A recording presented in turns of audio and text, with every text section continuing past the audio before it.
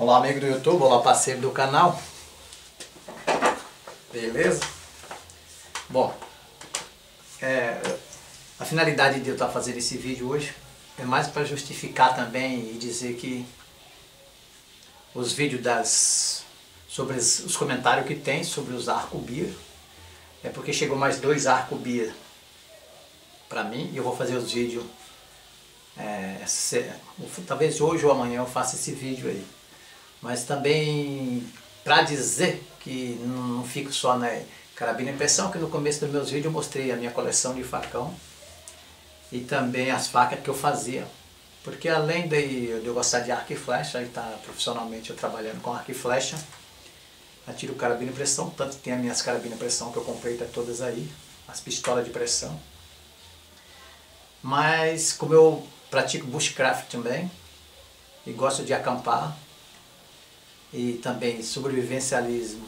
Às vezes faz muito tempo que eu não fiz mais, que foi, foi só um curso que eu fiz na selva. Mas aí eu passei a gostar então das facas. E eu nunca parei de fazer minhas faquinhas também. Apesar de não estar tá fazendo um vídeo falando sobre faca, faço mais essas facas por hobby.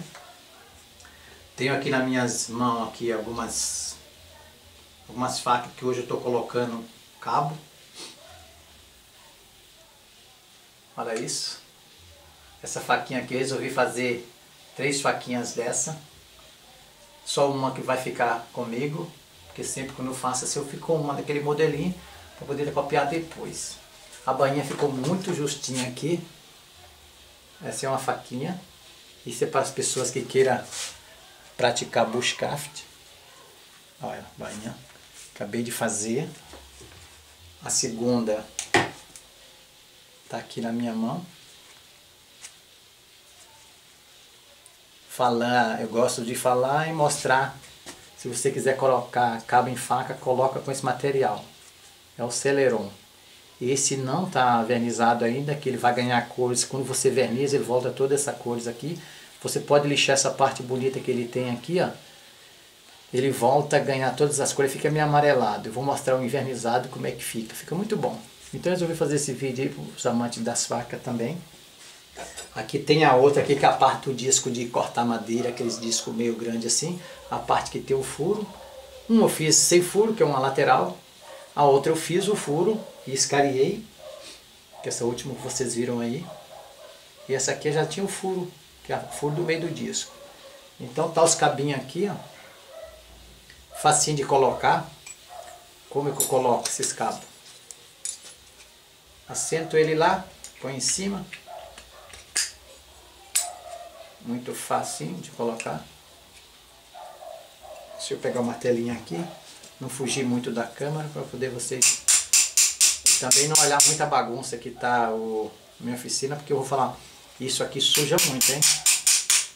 O Celeron suja demais mesmo, cara. É um pó amarelo aí que voa. Tem que tirar da câmera.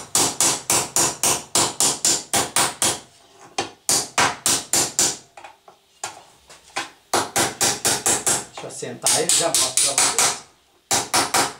Uma pessoa só filmando é embaçado, não? Aí fica assim. Essa parte tá não terminada, mas sempre que depois eu vou dar um acabamento e tirar. É como essa parte também, ó, bem grossa, não acaba aqui. Só alinho somente a frente, só a frente que eu deixo alinhado, para depois eu acompanhar com os, o disco flap na circunferência dela. E aí fica fácil de você trabalhar a sua faquinha entra muito justo que eu furei com a, ó, eu furei com uma broca. Tá lá, ó. É só chegar e eu vou mostrar rapidinho aqui como é que dá para fazer. Baixando aqui a minha câmera. Tô filmando só, já viu como que é, né? Bem complicadinho. Aqui tá a parte da Isso aí, dá para filmar legal.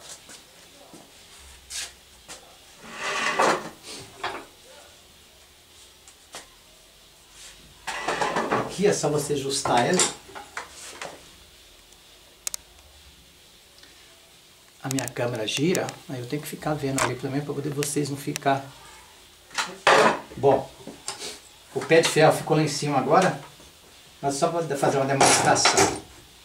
Isso aqui é da outra faca. É só ajustar ele.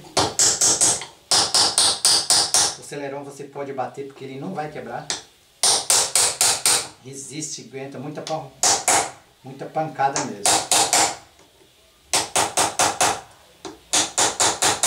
É bom quando você for arrebitar não deixar sobrando muito os arrebites de um lado, porque senão ele pode entortar. Isso é bom você deixar passando um pouco. O de baixo está um pouco grande, ó. É bom eu tirar na lixadeira também para poder não correr risco de você entortar. Que você tem que vir arrebatendo ele com um martelinho pequeno, criando cabeça nesse arrebite aqui. Você vê?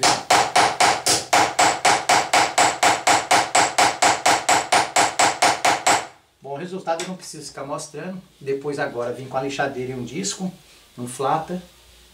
Só para mostrar aqui, ó. E trabalhar, acompanhar até chegar o aço, que é o desenho da faca. E aí fica fácil de você terminar. O resultado é esse aqui, que vocês já viram antes aí, ó. Lixa, encosta bem. Aqui ainda vai a lixinha fina para poder ir pro verniz.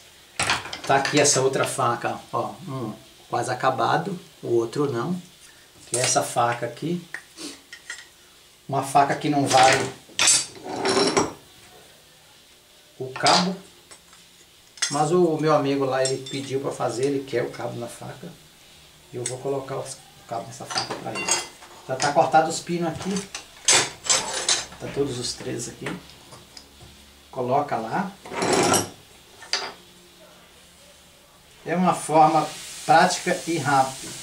Eu acho que no, no, em 40 minutos assim dá para você colocar uns dois ou três cabos a placa de Celeron eu compro aqui na minha cidade e vende. Custa 43 reais. Tem a grossa e tem a fina. Eu estou usando essa grossa no cabo dessa faca. A fina está lá em cima. E é só isso aí, ó. Depois é só... Depois é só arrebitar. Dê uma olhadinha aí. Arrebitar e fazer o mesmo processo com o disco, tirando e acompanhando o material. Simplesmente preocupo só a frente só. Só a frente que você tem que alinhar. Que isso aqui não tem como você lixar depois, dá trabalho para você. Aí você vem com o disco aqui, o disco flap, como eu disse, acompanhando os desenhos da sua faca.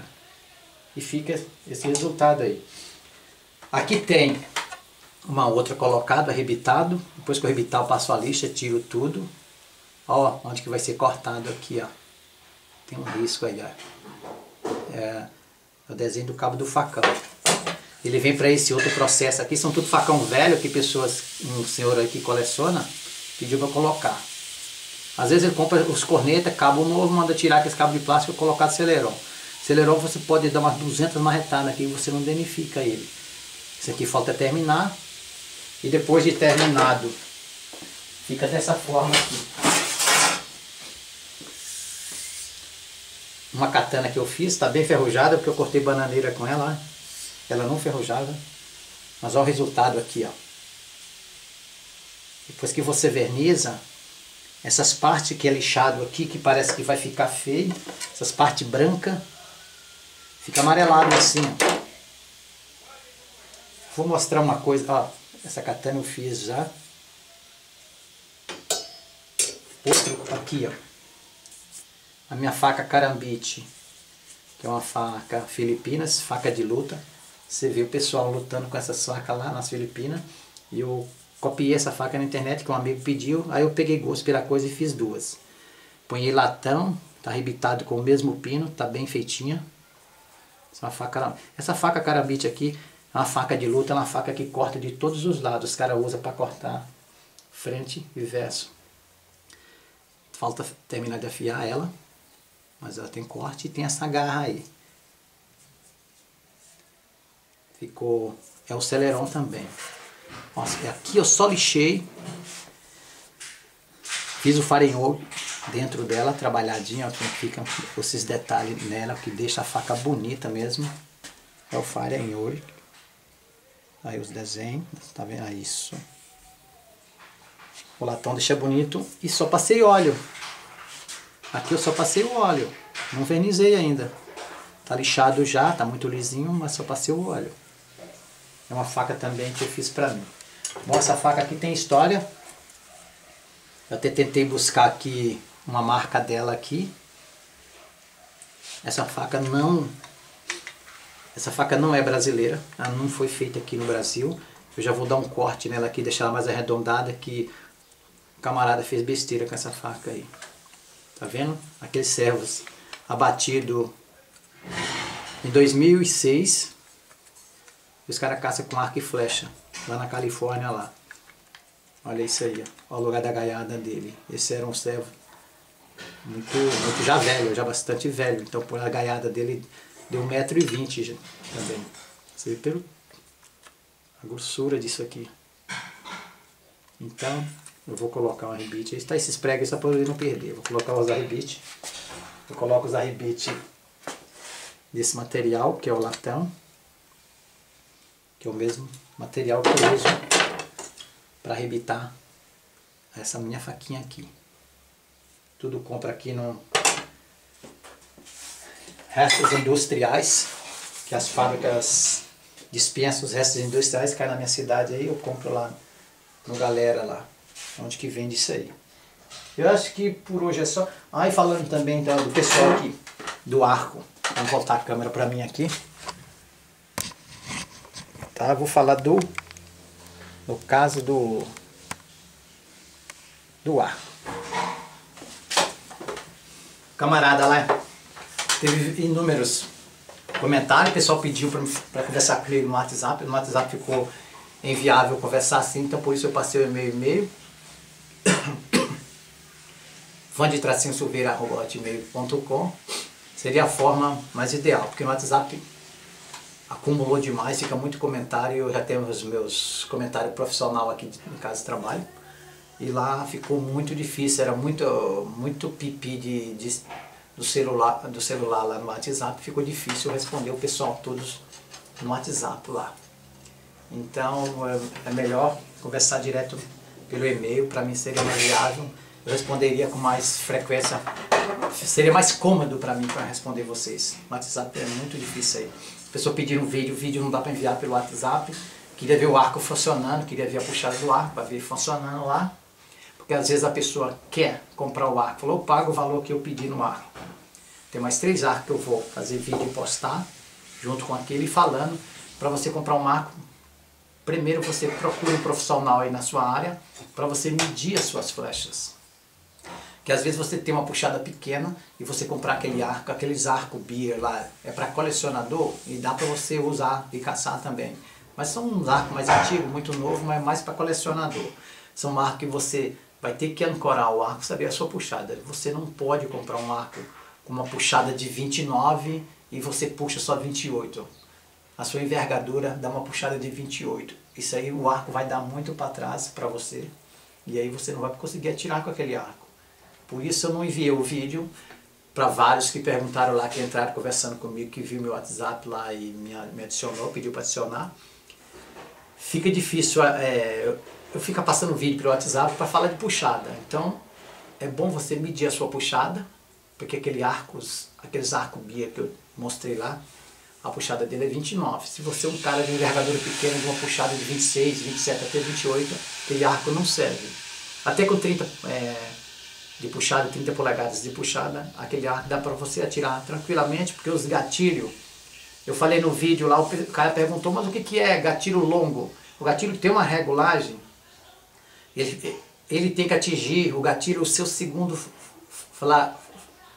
falange. O seu segundo falange é, é o local ideal para ele atingir lá. E você regula ele, trazer ele mais para trás, um pouquinho mais, para quando você ancorar não ficar o arco muito longe, porque a corda faz aquilo, vem no seu nariz e sua boca. Você não pode trazer o arco, quando você ancorar o arco ficar longe, e não pode também trazer um arco, se for atirar com a mão, ancorar o arco, quando ele dá o left off dele, você trazer o arco na orelha. Não dá certo. Você tem que ancorar o arco com sua postura correta, trazendo o arco debaixo do seu maxilar. Então, para vocês que querem comprar o arco, vou fazer o vídeo explicando isso aí direitinho. E por isso, já estou adiantando esse vídeo para passar para vocês. Eu não deixei de responder nenhum, vou responder todo mundo. Mas eu estou adiantando esse vídeo mostrando já as faquinhas. Que o cara perguntou, e as facas? Você não faz mais faca? Então eu resolvi mostrar. Eu nunca parei de fazer faca também. Meus, minha, minha hora de folga, assim, às vezes eu estou assim de bobeira. Eu gosto de fazer as minhas faquinhas. Também tem coleção de facão, nunca deixei de ter coleção de facão. A minha katana também eu fiz. Mas já adiantando, empurrando esse vídeo para o canal, falando. Eu estarei logo logo postando um vídeo falando, mostrando mais arcos. E falando direitinho aí de como medir a sua puxada para você não comprar um arco na minha mão e depois não servir para você. Ok? Eu continuo aí, como eu falei, com todas as minhas facas e facões. Aqui agora mesmo estou vendo um monte de fa dos meus facões ali, tá todos precisando dar mais um tratinho. É, eu coleciono vários modelos de facas, facas punhal. E essas faquinhas também para a prática do bushcraft. Aí você vai para o mato lá, uma faquinha dessa te quebra um galhão danado, porque você pode usar ela e pode arrumar madeira e tá batendo até para rachar a madeira, porque ela aguenta. É um disco de cortar madeira, aqueles discos lá. E fica boa a faquinha. Fica bonita a faquinha, ok? Aí a faquinha. Mas para mostrar e falar dos, das perguntas que tiveram lá sobre arco. Aí eu juntei tudo um pouco para adiantar para vocês, fica tranquilo que eu vou estar tá postando, postando os arcos legal lá. Ok? E continue aí assistindo. Se quiser compartilhar também, fica à vontade. Dê o um joinha para estar tá motivando mais o canal aí. E um abraço, tamo junto, até mais vídeos.